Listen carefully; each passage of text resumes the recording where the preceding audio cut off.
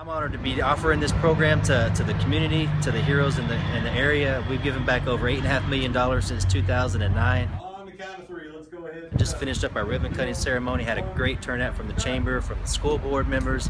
Uh, police department came out with us and everything.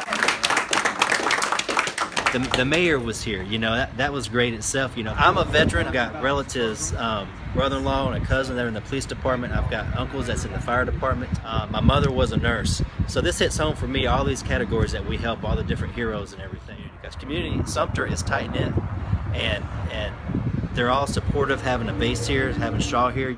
You know, I think this is going to take off. Homesforheroes.com, homesforheroesfoundation.org.